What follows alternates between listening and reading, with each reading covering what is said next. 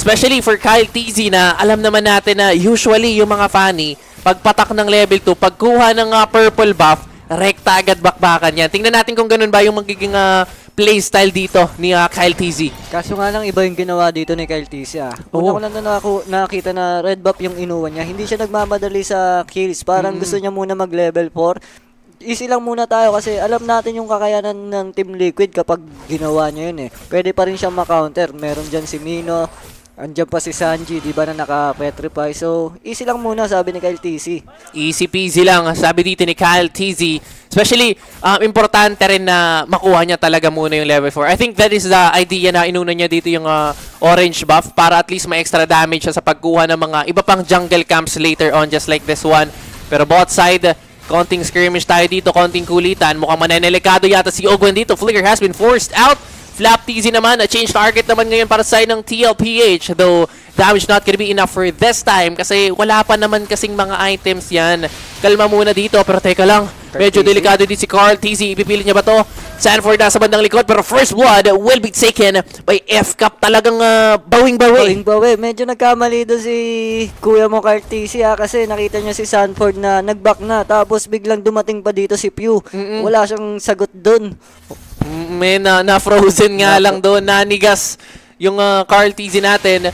Pero tingnan natin this time, okay itong mga ganitong early para side ng F-Cap. Knowing na kailangan nilang makabawi ngayong ah, game number 2 if they want to ah, proceed sa ating ah, game number 3. Pero take note, nandito na yung ating ah, unang pagong. Nagkakapwestuhan ang dalawang uh, teams natin. Few Ogwen sa kabilang banda, JP Carl TZ. Pero teka lang, may pasok yata ang gagawin dito. Frigid Glacier, nailapag na nga rin. Flicker, naku, napilitan. Pero yung ating turtle makukuha pa rin dito ng side ng Team Liquid PH. At si Flap TZ talagang mamasu-masuhin na lang si Sanji for a kill. A quick 2-0 this time para sa side ng Falcons AP Brent. Sila naman yung unang nakakuha ng dalawang kills. Nakita ko yung ginawa doon ni Sanji ah. Hin- hindi niya pinatay si Pew doon na kaya niya nang patayin. Hindi, hinintay niya talaga si Kyle TC kaso nga lang hindi siya nagtagumpay doon sa plano niya. Kaso at Mhm. At this time, quick kill coming from Ogwen. Talagang ah, nahampas naman ang bato sa kabilang panig. Pero this time around, Team Liquid PH medyo conservative sila actually ah, ah, for this game number 2. And Falcons AP Brenda man natin na yung gigil nilang bumawi para dito sa game number 2 natin. They, they are more proactive when it comes to ah, fights, when it comes to ah, objective taking. Talagang naikipag-contest na sila dito against the side of ah, TLPH. nilalabanan na nga nila dito yung aggressive ng Team Liquid kanina nung game 1. Kaya ituloy lang nila siguro to yung gantong galawan nila. Medyo si Ogoy nakikita natin na nagbibision lang. Vision lang, muntik pang mabigyan pero Carl TZ against Kyle. Labanan ng TZ Brothers mga kaibigan. Pero sino ang magwawagi? Naka cable out pa nga doon ah, si Kyle TZ. Parehong ah, low HP yung dalawang junglers natin. Pero after all those, eh, wala pa rin naman napabagsak sa dalawang teams natin. So still 3-0 tayo sa ating ah, talaan. And really game, eh, parang ah, maganda yung timplang ngayon ng Falcons AP Brent. Medyo walang ginagawa pa dito yung Team Liquid ah. Wala pa sila masyadong ma-rotation. Parang iniintay muna nila mag-call si Cartesi na kaya na natin pumalag. Oops, pero teka lang, mukhang ah, iba ang call ng Falcons AP Bren. Parang kanina pa nila kayang pumalag eh. Kaya Kyle TZ with the cables, eh naispatan nga doon si Carl TZ and just in time kasi on the way na rin kasi yung pangalawang objective natin. Medyo mahuhuli ng ah, panandalian dito si Carl TZ towards this turtle take. Pwede itong i-burst down ng ah, Falcons AP Bren if they want to, pero pinestuhan na rin kasi dito ng ah, TLPH natin. Siguro magiging 5 may, on 5 to ah. may hila pero may, may no one's fury naman sa kabilang banda. The answer coming from Daddy JP. Meanwhile, the cables are in. Kanino nga ba mapupunta ang unang kill? Meanwhile, Sanji goes out. Pero teka lang, ceasefire daw muna saglit. Wait muna natin yung iba nating kakampi. Tapos magfa 5v5 tayo dito sa may bandang gitna. Nagkalapagan na Frigid Glacier. Nakuha ng uh, Team Liquid PH yung ating turtle. Meanwhile, the kill will be taken this time by Carl TZ. Pero may wall charge palayo. Mukhang mapipilitan tumakbo ang F-Cup natin. Sanford is actually very, very low. Pero may petrify. Sabay, wala pang rough waves. Like and bounce. That's gonna be another for few this time. Yung Zaman Force just in time din kasi nakahuli pa yung side ng TLPH at wala pang napapatumba pa rin sa side ng Falcons AP AP Bren 7-0 at this point of the game. Yung turtle nga lang yung nakuha doon ng TLPH. napakaganda ng ginagawa dito ng Falcon AP Bren ngayon. Ah. Parang hindi sila nagpapatalo ngayon. Hindi nga nagpapatalo. Ogwen ngayon ang kanilang magiging target. Pero sa kabilang banda, Kyle TZ to the rescue ulit. At another kill for him. Naku, killing spree na agad on this game. 3-0 on his KDA. Mainit si TZ ngayon. Sa tingin ko dito, nakikita natin si Sanji na medyo wala pa tayo nakikita na magandang combo na ginagawa niya eh. Kaya kailangan niya lang na pumeso dito na maganda at humuli ng kung sino man yung dapat hulihin niya. Lagi siyang nakikita kasi ni Ogwen eh. Nabivision siya eh. Oh, man, parang kumbaga sa labanan ng vision, si Ogwen kasi matapang kasi bato siya eh. Mm-mm. Alam niya nga kaya niya saluhin yung mga damage na ibibigay ng uh, TLPH natin. And kung papansinin mo, tingnan mo yung tapang niya oh, naka, na na-evade niya lang yung uh, Petrify doon na naman gagaling kay Sanji. Pero Rafoy may kakasara nga. JP ang kanilang magiging target ngayon. Pero Minowan's Fury tatama ng bahagya to Kyle TZ pero kumonekta na kasi yung cables palayo meanwhile on the bottom side of our map konting kulitan coming from uh, Sanford and Flap TZ parang uh, napi, uh, humahanap ngayon yung uh, TLPH ng uh, paraan Mm, humahanap sila dito ng paraan. Tapos nakikita natin si Kyle TC na grabe yung ginagawa niya, no? Parang gusto niya na talaga ng game 3. Ayaw niya dito ng 2-0. Ayaw ng 2-0 kaya na naman ito pero may cutthroat doon. Sabay kill na naman on to JP. Talagang uh, hinihiwa-hiwa na yung baka dito sa side ng TLPH. At ngayon, another objective is for the taking. Falcons AP Bren are looking good onto this next one. Yes, nasecure yun ng Falcons AP Bren. Grabe. Grabe ang masasabi ko dito kay Kyle TC. Napakagaling niya magpani. Sabi nga kanina ni paring Toku ah. Ka- Mm. si, ginagamit niya si Pani mismo. Ayun, siya na si Mm, siya, Fanny siya na mismo. si Pani. Si Kyle TC na yun. Yun nga yung yun nga yung nakikita natin ngayon eh. And talagang uh, in terms of damage, in terms of uh, kills, Kyle Tease is on a roll right now. Pero for this one, tingnan natin ang magiging sagot ng TLPH. Wall charge palayo as an answer for Ogwen as lima na yung uh, sumusubok patayin siya doon. Humahanap na ng paraan dito ang Team Liquid Echo para makabawi. Pero tumatapang pa rin yung Team Liquid eh, kahit na lugi sila. Mm Dama natin na somehow may confidence pa rin dito sa side ng Team Liquid Pitch. I think they are looking for errors na pwedeng ma-commit dito ng Falcons AP Bren. Tapos doon sila, doon nila iti-take advantage yung mga mga pangyayaring yon.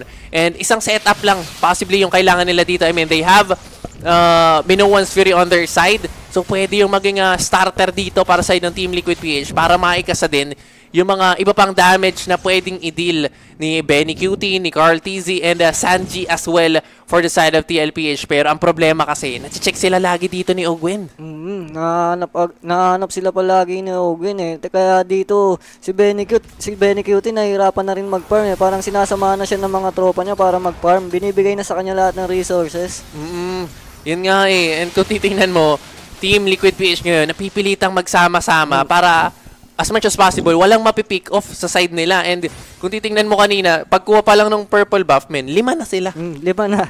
lima na talaga. At dito, malapit, malapit na tayo magka-lord. Sa tingin ko, hindi mo napapalag dito yung Team Liquid eh. Alam, ni- alam nila yung kakayanan ng Falcon AP Bren ngayon. And nakuha na ni Kyle TC yung item niya. Meron na siyang Malefic Roll, dalawa na. Meron pa, pa, pa ano na yung third item niya. Third item, on the go na rin.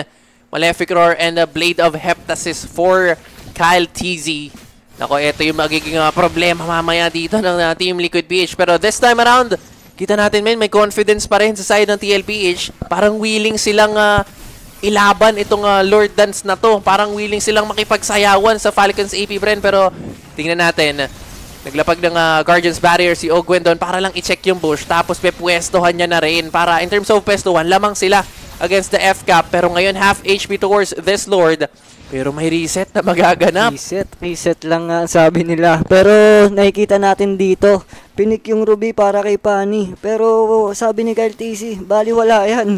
baliwala yung Baliwala yung Ruby dito eh. Parang hindi ganun ka-effective kumbaga. Sabi dito ni uh, Kyle TC. Pero 9-0 pa rin tayo. Parang binitawan muna nila yung uh, Lord na yun ha. Parang mapipilitang dumepensa kasi muna dito. Yung uh, side ng uh, TLPH against side of uh, FCAP. Ito na nga, 10 minutes, meron na tayong kalamangan ng halos 7k rin yung kalamangan na, ng Falcons AP Brand dito. At ito na nga, sinisimulan na, na ni Flap TC yung Lord. Kasi nga, lamang na sila eh. Parang kailangan na nila makuha yung Lord dito tapos hintayin nila pumalag yung Team Liquid eh. Kailangan nga nilang ah, hintayin umalag yung ah, Team Liquid. Alam ng FCAP na team fight yung pwedeng magbigay sa kanila ng ah, panalo dito eh. Isang malupit na team fight lang ang hinihintay ng ah, FCAP dito for them to unleash the win para dito sa game nito. Pero for the side of Team Liquid, same goes with them. Pero teka lang, Daddy JP dito, medyo half HP na siya. Sanford tries to go in. Pero nako, kailangan mag-ingat ng mga teams natin dito. Parang nagkakapaan lang talaga. Kanina pa to eh, parang 2 Kanina minutes pa. na sila dito sa my lord. Ito talaga yung Lord Dance. Lord Dance dito sa Pinas ang nangyayari. ito yung ito yung Lord Dance ng mga Pinoy. Mm. Ganito katagal. Ultimate showdown ang magiging ah, kwento dito pero as of now, half HP ulit yung Lord. Tingnan natin itutuloy ba to kasi half HP din si Carl Tizzy. Paggamit siya ng uh, Swerve Alpha palayo dito pero Ogwen nakapwesto rin dito. Who's gonna be their target? Og Ogwen medyo delikado na yung buhay pero si Sanji din medyo low. Binuwas Fury sa may bandang gitna nahuli dito Super Marco. Pero that's gonna be Team Liquid securing in that Lord. Pero may bawi dito inside ng Falcon Savior Ren. That's gonna be Kyle TZ going in for the double. Might be another kill for them pero si Sanji mukhang makakatakas. Hindi! Hindi ka makakatakas sa maso ni Flap TZ dahil nandito na yung side ng Team Liquid. Meron na sila meron na silang Lord this time. Pero kasi ubos. Boss. Ubos yung Team Liquid doon eh. Tatlo ngayon ang bagsak sa side nila. So, uh, I think mako-compensate nun yung uh, dami ng kills na nakuha ng Falcon sa AP Bren kasi meron naman silang Lord. Hmm, tama ka nga dun at ito. Sa tingin ko, kaya na nila to pilitin kasi wala pa masyadong item dito sila. Si Benny Cutie yung hinihintay natin pero wala. Hindi natin nakikita si Benny na gumalaw pa dito. Nakikita natin yung standing niya na 0-0-0 pa lang. Mm, talagang tahimik lang kung tahimik, tahimik eh, no? In terms of uh, kill kasi, isa pa lang din yung nakakakuha dito sa side ng uh, TLPH which is uh, Sanji. Pero aside from them, parang nahihirapan silang makahanap ng uh, magandang positioning dito for a setup na manggagaling kay uh, JP. And this time, tingnan natin kung anong gagawin ng Team Liquid PH. I, I was actually thinking na yung uh, Lord take na yon pwedeng makuha pa ng uh, Team Liquid uh, PH yung mga kills. Pero after kasi nung setup ni uh, JP, eh, napilitang umatras na rin yung membro ng uh, TLPH kasi alam nila na medyo egol sila in terms of item. Mm, Eagles nga sila doon pero napaka-disiplina ng pinapakita ng Falcons sa AP Bren ngayon ha. Parang hindi sila masyado nagko-commit kahit na sobrang lamang na nila, di ba? Tapos nakikita natin nga na si Cartesi nahihirapan siya, nahihirapan siya na pumesto sa mga team fights natin kasi nga na, si Ogwen, lagi niya nawa-wild charge yung dapat niya i-wild charge eh. Oh, as much as possible, uh, yung mga squishy heroes o yung mga, mga, kailangan talagang ma- matamaan ng wild charge, yung at least brief stun or brief CC lang uh, na manggagaling dun sa wild charge, pasok na pasok dito kay Ogwen and uh, once na siya naman yung mamiligro, kunyari may uh, hila dito coming from Sanford, may Petrify coming from Sanji, na ginagamit niya rin yung wild charge para makatakas. So at least, uh, hindi na bibigyan ng uh, pwesto dito yung side ng Team Liquid para makakuha ng uh, kill even against Ogwen na talagang uh, nang mamama sa area dito ng TLPH. Mm, ang dami nga nilang ginagawa kanina na tinatry nila palagi patayin si Ogwen eh. Kaso nga lang, nasasagot lang sila ni Ogwen na sinabi mo nga na wild charge. Kapag hinabol pa siya, meron pa nga siyang flicker dito. Kaya medyo nabobosit yung galaw ni ng Team Liquid Oh, dahil man. kay Ogwen. Nako, si Ogwen talaga ang ah, isa sa nagpapahirap ngayon sa side ng ah, Team Liquid PH. Parang uh, gang, ginagangster niya na lang eh. Yung uh, TLPH dito, alam niya nga, kaya niyang i-sustain. Pag namiligro, may wild charge palayo. Tapos meron pang anti-CC coming from that passive. Pero this time around, Luminous Lord na to. Kilo Wash.